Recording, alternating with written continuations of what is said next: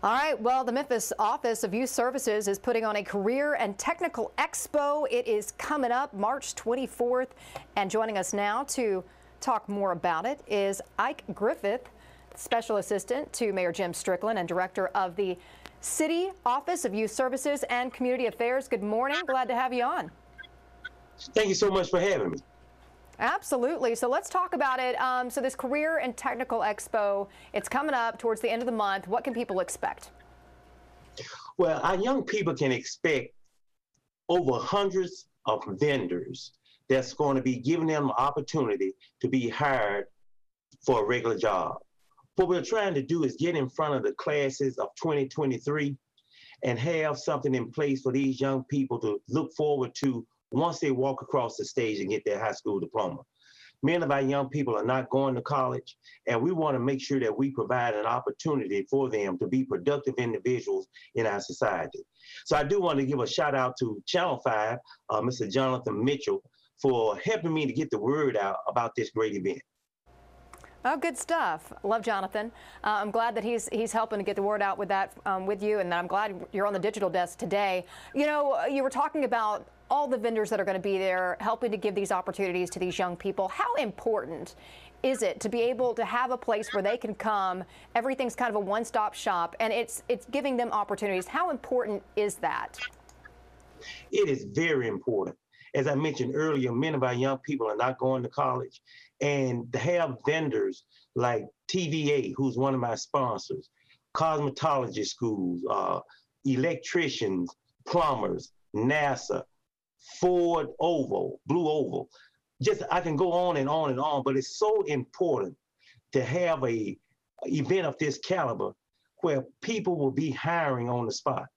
And we ask our young people to come looking the part along with your resume.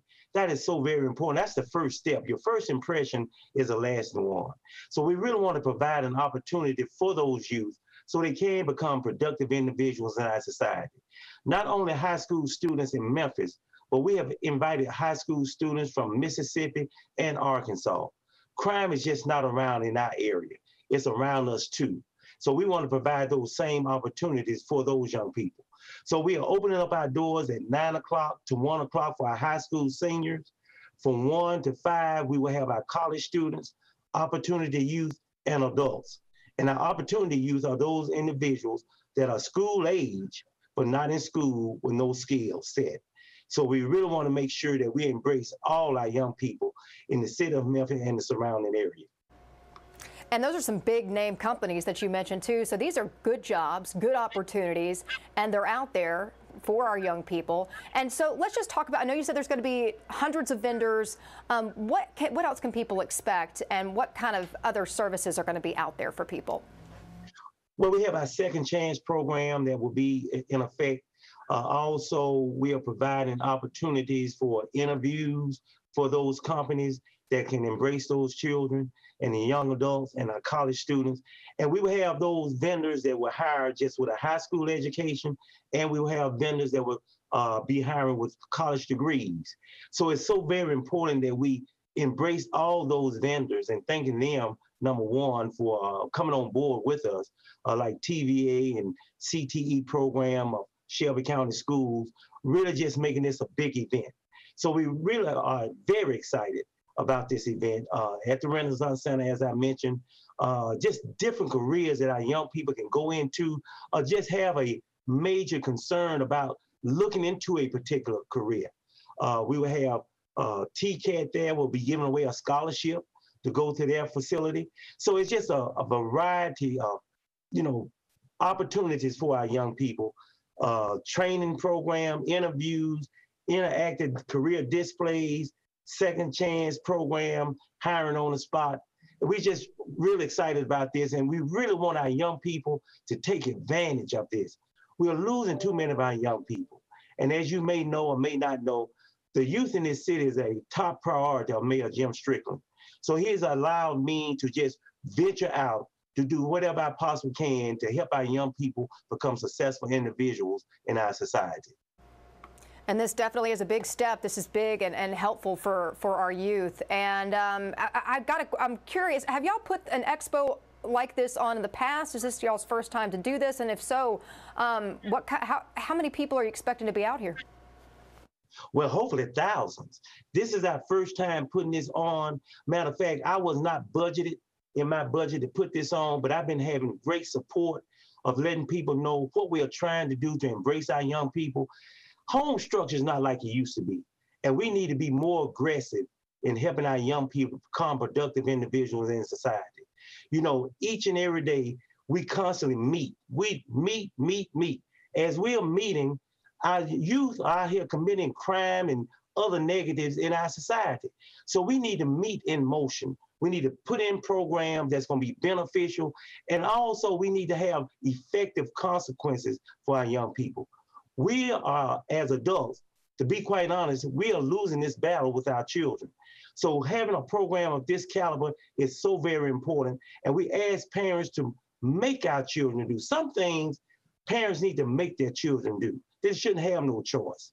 And this is one of the events that we hope parents will support us on and so we can support their children. Absolutely. And so I know you were saying that this is a big, investing in our youth and really focusing on our, our youth is a big thing for you, Mayor Strickland. Is that kind of how this expo kind of came about? Is this just kind of one of those things? Well, I tell you, it came about just looking at data with the number of young people that may not be going to college, may not be attending college. So we got to find some positive things for our young people to do. And careers and technology is so valuable. It's so valuable because although we may have AI in our uh, society now, but I've yet to see a machine fix hair. I've yet to see a machine come to your house and fix your plumbing. So there's a lot of careers that young people can go into and be successful uh, in that process. And, you know, just making our children do and take it a part of something that's positive is very, very important. So we need to embrace our young people. We need to show them the right things to do, put them on the right track, number one, and hopefully they'll be successful. Hopefully it'll also deter crime because we have so many of our young people that we are losing each and every day. So we're all excited about putting on this career expo. We have invited, as I mentioned earlier, the uh, school system in Memphis and the surrounding areas, college students, adults. So just take advantage of this opportunity and let's have a great summer. Well, and I think this is awesome too because it it helps these young people to even know what kind of opportunity, what, what they are capable of, what they could do, what is out there for them that they can, you know, grab and hold on to. So this is great. Uh, real quick, can you kind of run over all those details again one last time and then where people can go to get some more information? Okay. Well, first of all, you can call our office at 901 636 6264. And this is Mayor Jim Strickland Memphis Office of Youth Services Career and Technical Expo that will be held March 24th at the Renasant Convention Center.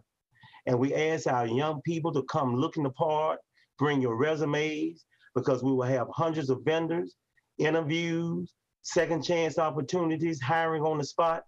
And we ask our young people that are in high school from nine to one will be designated for you as high school seniors. From one to five will be our college students, opportunity youth, and adults.